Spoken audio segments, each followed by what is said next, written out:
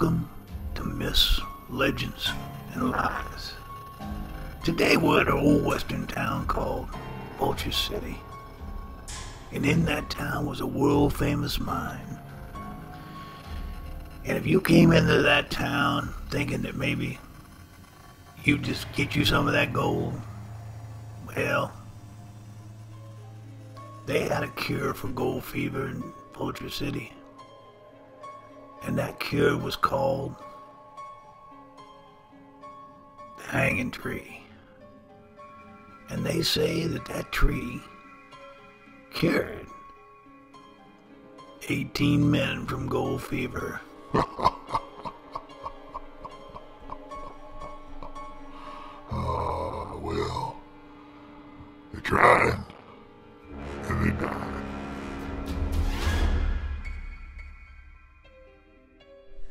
Well, we're in a gold mine that produced more gold than any gold mine in the state of Arizona ever. And so, what's the tie in between the gold mine and the Lost Dutchman is? He used to work here. Really. He worked at the Vulture Mine in Vulture City in Wickenburg, Arizona. And it's a fascinating place with its own fascinating story. I mean, this is the assay office right here. Still intact. They've re- reconstructed these buildings.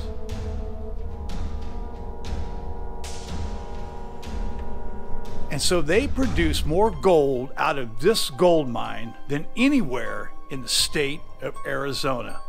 And guess what? Jacob Waltz was one of those miners that worked here.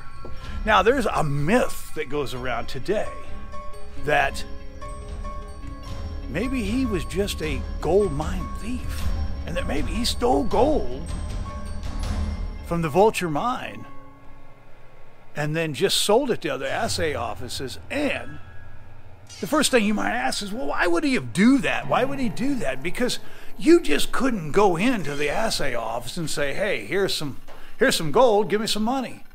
They wanted to know where you got that. Well, why was that? Because they wanted to make sure that you weren't a thief. So could he have concocted this story up? And maybe he would do what they call just high pocketing the gold as he was gold mining. And so stealing that gold, right? And you know what? The risk was pretty unbelievable if you got caught.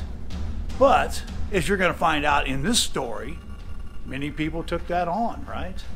Now, another fascinating thing that happened was that in the assay office, right? And we're going to go right through the same doors that these outlaws came through, right? So they came right into this door.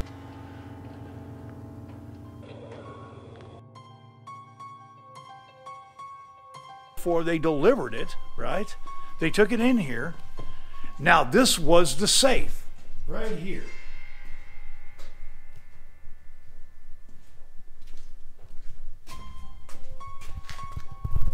So, these two outlaws, they weren't successful. Let's just put it that way. Very untimely death. Uh, so, what would happen to you if you were caught stealing gold? Hold up the assay office.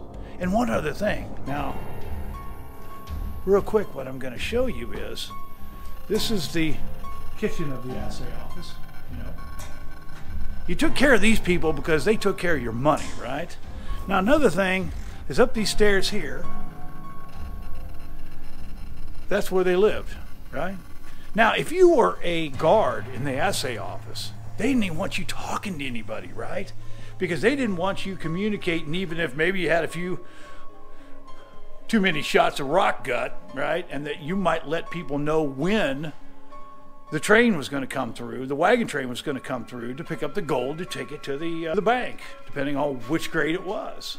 So, this was a lonely place, but you know it paid the best money also. And they say, they say that the two men that were killed, they come back wanting their gold back. Now let's say that you were coming on hard times, and let's say that maybe you you took a risk of maybe stealing a little of that gold for yourself, you know? I mean, you made all that money and you worked so hard, and all you got was a measly wage, right? So one day you concocted a, a way that you were going to get gold out, right? And so you did that very same thing that maybe the Lost Dutchman did. And what happens? You got caught. So if you got caught stealing gold, right? So what would they slap you on the wrist? Well, not quite. Let me show you this.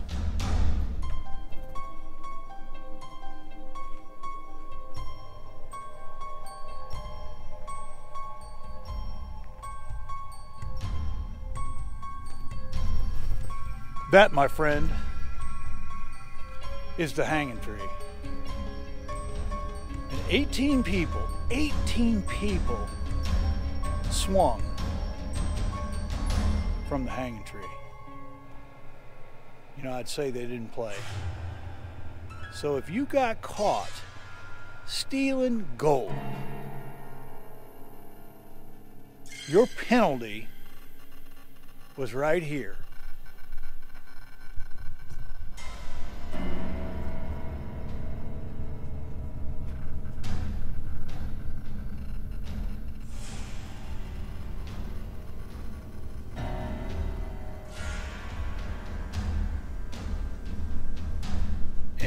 Going to hang from the hanging tree. So in 1863, Henry Wickenburg found this location. And this is his house. Now, isn't it apropos that his house shades itself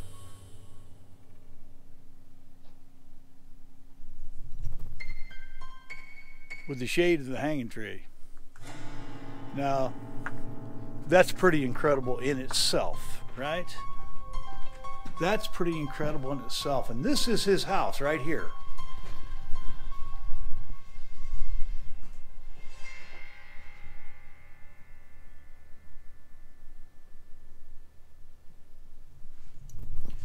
Now, what are these holes, right? So, what are these holes right here? Well, you got to remember in 1863, this place was, let's just say that the Indians hadn't decided yet that they were going to go peacefully. And you know, you were going to get attacked at any time uh, by the Indians. And so these gun, these were gun ports to be able to shoot out of, right? And you were going to use them. So there's three on this side.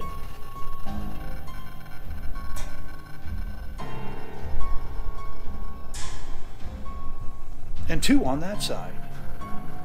So Wickenburg ended up selling his portion of the mine for $85,000 plus plus $26,000, the $26,000 which he never received, right? Now Wickenburg spent more money almost trying to get his 26,000 he never received back. And you know, he died. He died broke. Now, the story goes that he killed himself in Wickenburg, the town. But myth has it that the caretakers, just exactly like the Lost Dutchman, may have made it look like that. So here again in the same kind of story, not exactly the same, but there's a little bit of that same that same trend. Just imagine 18 times this tree has taken the life out of people. You know, I was in one of the other buildings over here, and uh, and I got a hello just out of the blue. Somebody said hello. Uh, it happened to be the brothel. I don't know if that's good or bad. Uh, so let's talk more about what happened here. There is a rumor that they were trying to steal some of the gold and they had they had taken the pillars down. But the truth of the story of the, that story is that there were 13 Mexican miners in there just mining. There was an earthquake in California and it collapsed. Now, a lot of people don't know this either that those Mexican families were irate that they couldn't dig up those bodies. And there wasn't any mules in there. That was another myth, too. There wasn't any mules in there. And so there was almost a riot with the Mexican families that, they needed to dig their out, dig the uh, the bodies out, and they never could. They really didn't know exactly where they were at. Okay, and here's another story. In this very office here,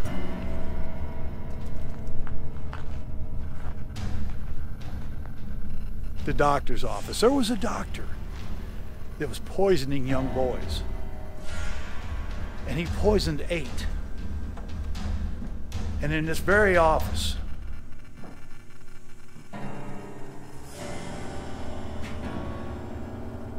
and he got away. The last one was sick, and he said, Well, you know, I have to leave here because I can't take watching another one of these poor boys die. And he left, and guess what happened? The boy got better. And the boy also said that this doctor was looking for his gold, right? And he wouldn't give him the gold. And it is amazing how he left. And they tracked him to Wickenburg. And then he knew they were on his trail, so then he went to Prescott. And then he just disappeared. And nobody knows why, right? Nobody has any idea why. Probably to get their gold, right?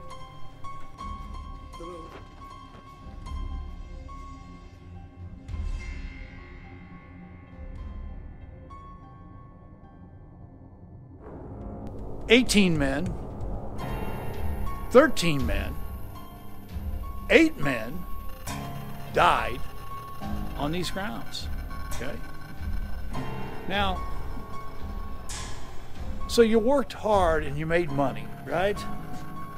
And where did most of your money end up going? Right there. One of the amazing things too is you walk around. I don't know if you can catch them or not. All these ravens and crows that hang around the hanging tree. So, you worked hard. Where'd your money end up going? Right there in the brothel.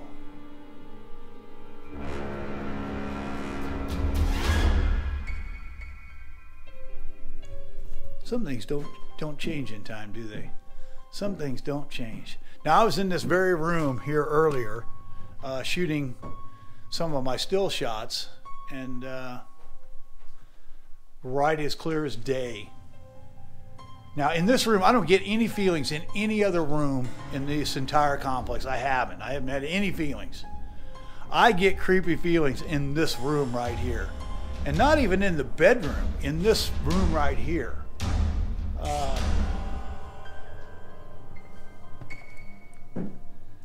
This is the room I get, and you can you can feel it, man. Woo! I got chills in here now. But I heard a voice in here say, "Hello," and uh, I asked him to slam the door and move the door, and you can hear in the video. Hopefully, you'll hear it because it's not on a camera with, with sound. There is some sound, but it's not great sound. This door here. Now it could have been the wind. Uh, I'm not saying it wasn't, but man, you get a. I, I get a really creepy feeling in here.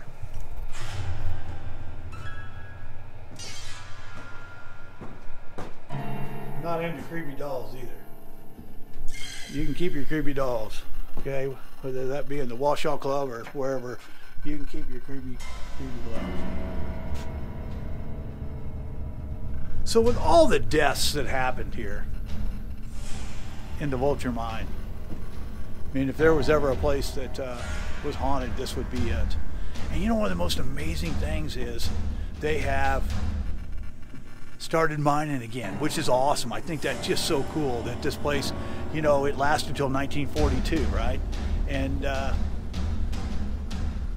it's coming back. I think that's awesome. Now, also, hopefully you can see this picture here. Okay. Hopefully you can see that. That is right here. That was a tennis court. That is weird. That's a really extreme. That's that's bizarre to me. Okay.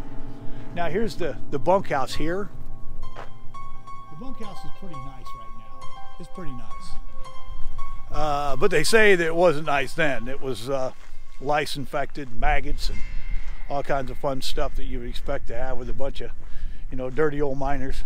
Uh, and conditions being with a tennis court outside their door. Who would have who would have thought, right? So here's the bunkhouse. I think it's safe to say that we it's not period. And you know, you go in this room here and I don't get any vibe at all in here. None, zero. You know, I don't get any vibe in any of them other buildings.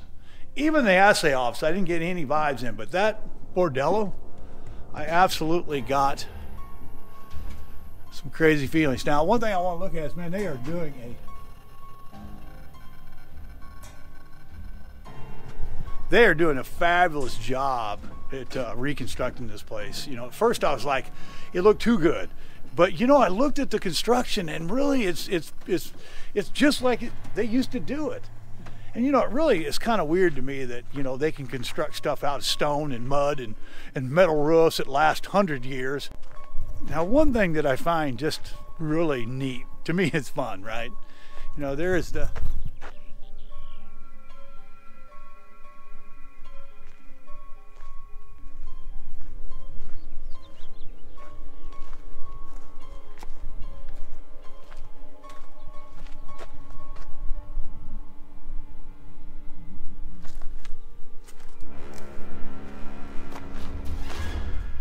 Now, what I find amazing about that car is that it was made in England, right? So, big deal, you might ask. You know, it was made in England. Uh, but what's amazing about that is, to me, is uh, the company that started mining over here is an English company. So it's kind of funny that they've came back, you know, uh, all these years, and that car's there, and then uh, and they're there. So I just think that's uh, fascinating.